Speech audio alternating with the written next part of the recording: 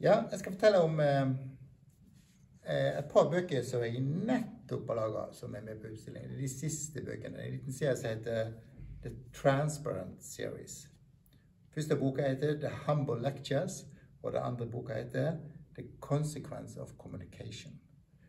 Og I den serien så, så har jeg tatt noen foto, og så er de blitt printa på kalkerpapir. Sånn at de, de glir litt i hverandre. Så det er et foto av et strå som, eh, som, som bare blir er fokusert i ulike nivåer, på en måte. da.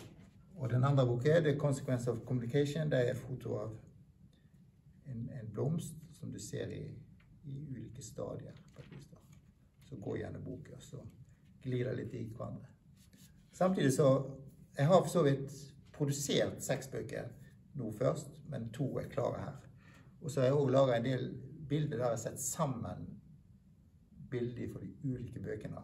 som får veldig vanskelige og rare titler. på en måte At jeg setter sammen titlene òg, da.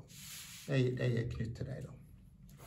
Slutten av februar så kommer det to nye bøker til som blir med på utstillingen.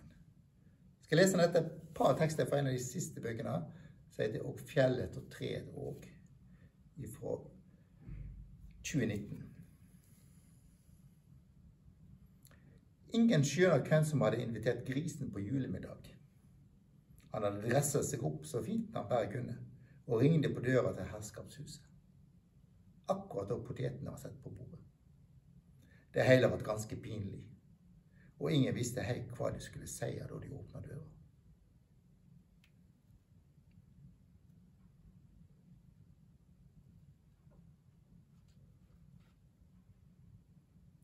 Har du snakka med vatnet? spurte hun.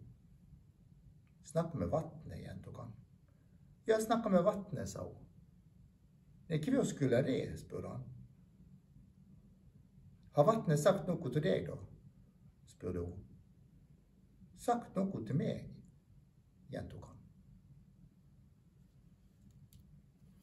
Da er, jeg jobber veldig mye med tekst, så her er en liten tekstsamling. Og i utstillingen så er det en projeksjon som viser mange korte tekster som går gjennom, gjennom Det tar to timer og 45 minutter går den liksom hele tida på utstillingen. Pluss at du kan lese i alle bøker som er på.